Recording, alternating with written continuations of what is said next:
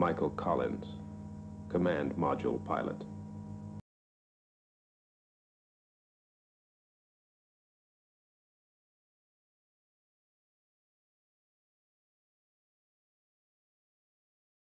At this time, I'd like to introduce the astronaut crew for the Apollo 11 mission.